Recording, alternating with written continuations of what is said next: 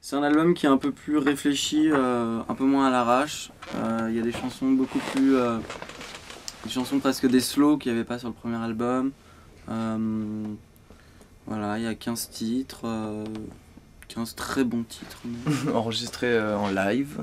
Enfin, quand on a commencé le groupe, c'était vraiment pour faire des concerts et tout. On a toujours joué comme ça et, et on s'est on s'est dit pour enregistrer un album, ça va pas ça va pas changer quoi. Et puis on voulait garder ce son justement euh, live quoi. Le- L'album précédent, il a quand même deux ans de moins, donc euh, nous aussi on avait deux ans de moins. Les chansons qui étaient dessus avaient euh, des fois da- dataient d'il y a 4-5 ans parce qu'on avait euh, écrit depuis le début en fait. Et, euh, et donc là le deuxième album c'est que des chansons tout- toutes fraîches, toutes neuves et, et puis on a pris deux ans aussi avec cet album donc je pense que ça se ressent sur, le- sur les morceaux. ouais. Non, en tout, il doit y avoir 3-4 balades, pas plus quoi. Après, ça reste quand même bien péchu. Justement, ce qu'on voulait faire, c'est en premier single sortir un truc euh, qui est vraiment, euh, qui est vraiment rentre dedans, euh, vraiment comme euh, un peu ce qui résume le premier album, en gros, on va dire, et euh, qui, qui reste euh, très bébé brune en fait. Et en deuxième single, justement, faire découvrir euh, l'autre aspect de l'album, euh, plus balade et euh, et donc euh, non, on n'a pas peur de, de donner une autre image. Enfin, ça, ça reste euh, dans l'album, ça reste vachement du bébé brune aussi. Quoi. Moi, c'est en plus, on écoute énormément de ballades et de slow, euh, que ce soit chez les Beatles ou, euh, chez plein d'autres groupes. euh, Hmm. c'est vraiment ce qu'on qu'on est aussi quoi. Un mec qui s'appelle Antoine Gaillet, qui a travaillé avec les Vampas ou Julien Doré, qui a fait pas mal d'électro aussi.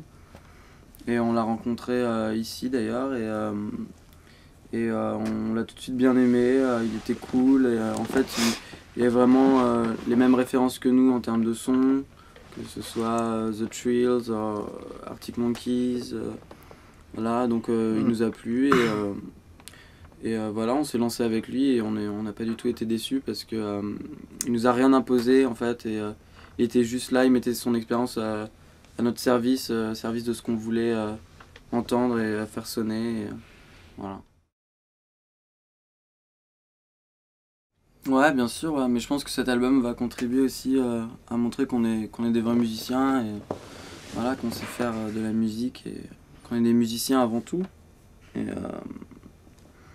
et voilà quoi. Après, c'est vrai que les critiques, nous, on a tendance à rester dans notre bulle et à pas trop faire attention et, et être conscient que de toute façon, quand tu crées quelque chose, t'es critiqué, t'es controversé et, que ça, ça échappe à personne. Donc, je vois pas pourquoi ça nous échapperait à nous quoi.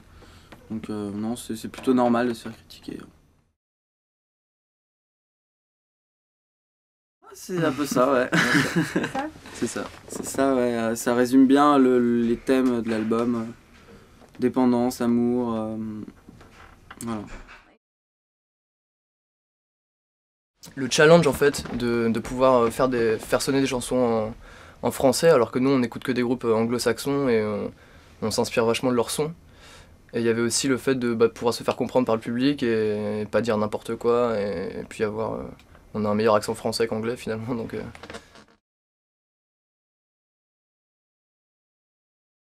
On était vachement contents parce que du fait que ce, que soit la révélation scène justement et non pas la révélation peut-être euh, révélation de la meilleure chanson voilà nous on se sent vraiment bien sur scène on sait que c'est là où on a qu'on a commencé et, et, je sais pas sûrement là qu'on finira je sais rien mais donc on était très contents justement très touchés d'avoir cette révélation scène pour nous c'était la meilleure euh, chose à avoir.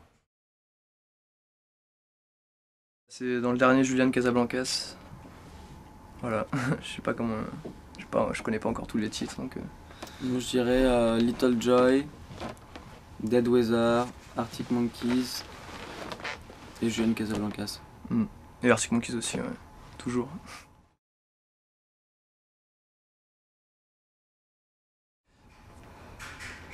Là, si je dis oui, c'est-à-dire que ce sera la première fois que je mentirai. tu te prends trop la tête Non, je pense pas qu'on ait on a menti. pas non. menti, non. Mm.